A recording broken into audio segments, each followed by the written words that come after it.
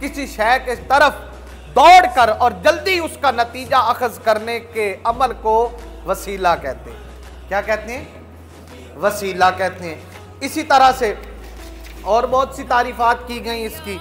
जैसे अलामा इबन असीर जुजरी ने इसकी रिवायत की। वो कहते हैं, वसीला दर हकीकत वो वास्ता है, वास्ता राबता, वो वास्ता है जिसके ज़रिए किसी शय तक पहुँचा जाए और उसका कुर्ब हासिल किया जाए। वसीला जिसके ज़रिए जिसके ज़रिए आप किसी जगह पहुँचते हैं, वो ज़रिया जिसने आपको वहाँ तक पहुँचाने में जल्दी की, वो वसीला है। वो क्या है? वसीला है।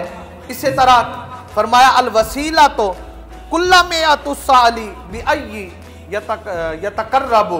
फरमाया कि हर वो चीज़ जिसके ज़रिए किसी का कुर्ब हासिल किया जाए, वो वसीला है। वो क्या है? वसीला है। अब इसी तरह इसका अगर आप शराई मफहम लें तो फरमाया, बारगाह रबूबियत में, तवज्जो से सुनिएगा, बारगाह रबूबियत में कुर्ब हासिल करने के लिए, अल्लाह की बारगाह से तकर्रुब में जल्दी करने के लिए किसी बुज़ुर्ग का, किसी जगह का, किसी बाबरकत शय का, या किसी बाबरकत मकाम का वसीला पेश करके दुआ करना यह वसीला है। यह क्या है?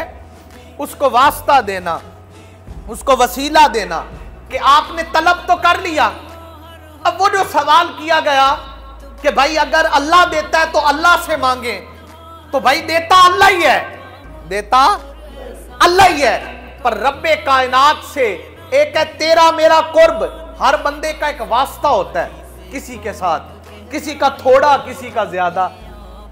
अब जिसका जितना वास्ता और ताल्लुक होता है, बात उसकी उतनी ही मानी जाती है। अब हम क्या कहते हैं? बारी ताला, तू मुझे ये अता कर बवसीला मुस्तफ़ा अता कर। सल्लल्लाहु अलैहि वसल्लम। हुजूर के सदके, तू हमें ये अता कर अब मुझे बताएँ, जो ताल्लुक मुस्तफ़ा का और खुदा का है, वो तेरा मेरा तो नहीं हो सकता। वो हमारा तो नहीं हो सकता। तो जब हम उसका वसीला देकर रब्बे कायनात से दुआ मांगेंगे तो दुआ हमने मांगी। मांगा रब से। पर जब वसीला दिया तो शायद तेरे मेरे इतने आमाल ना हो। हमारी दुआ की इतनी वसीयत ना हो, तासीर ना हो। जब हम किसी का वास्ता देते हैं तो वो फिर तेरे मेरे को नहीं देखता, उसको देखता है।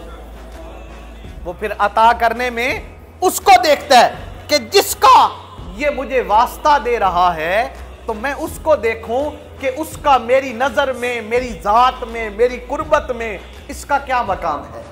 इसका क्या मकाम है? अब जैसे रब्बे कायनात से बारगाह रबूबियत से मुस्तफ़ा करीम का वसीला मांगा जाता है। आप अजान की दुआ पढ़ के देखें। फरमाया कि रब कायनात ने के बारी ताला हम उसमें के जन्नत में एक खास मकाम है, जिसका नाम भी वसीला है। जिसका नाम भी वसीला है। और सरकार ने दुआ सिखाई लोगों को कि, ए लोगो, तुम अल्लाह से मकाम वसीला की दुआ मांगा करो। मकाम वसीला की दुआ मांगा करो और उस मकाम को मकाम महमूद भी कहा गया। मकाम? फरमाया, जो शख्स अजान सुनने के बाद ये दुआ पढ़े, ए हमारे रब, इस दावत तामा और इसके नतीजे में खड़े होने वाली नमाज़ के रब, तू मोहम्मद सल्लल्लाहु वसल्लम को वसीला और फजीलत अता फरमा। वसीला और फजीलत अता फरमा और उन्हें मकाम महमूद पर फायज फरमा। जिसका तूने उनसे वादा फरमाया है।